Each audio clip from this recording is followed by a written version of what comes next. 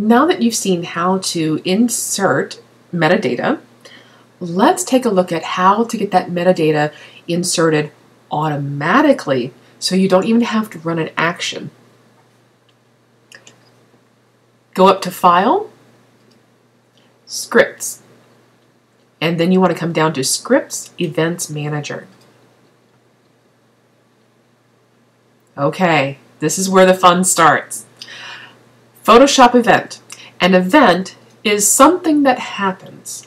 It could be when you start an application or you open a new document or you you know save a document. These are all called events. Those of you that have worked with any kind of scripting language know that there are events inside of JavaScript. For example, window.onload. When you when you bring up a browser window, you can make something to happen. You can do the same thing inside of Photoshop, but this is a lot less painful. We're going to be working with two Photoshop events, Save Document and Export Document. So first, start with Save Document. And you want an action. Oh yeah! You can tie this to whatever action you have in your Actions panel. It could be a default action, and it can be something that you've created a custom action. Look there, there's the action recreated in that last movie, metadata.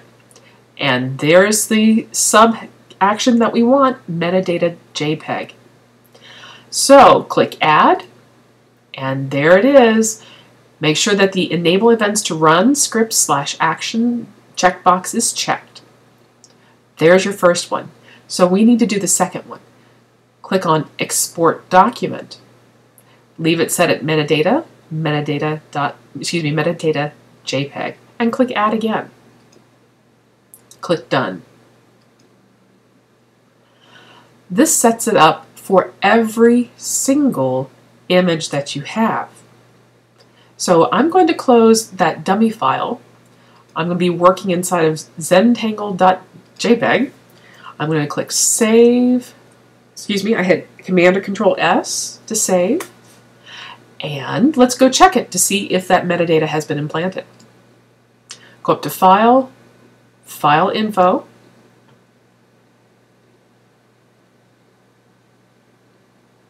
Sure enough, there's my information.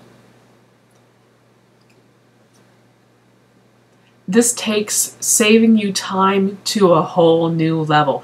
You don't even have to think about hitting that action button anymore. I hope that you're going I hope that you're going to find this useful in the future, and I think you will, especially when you start trying to really make sure that you get your information out there. See you guys in the next video.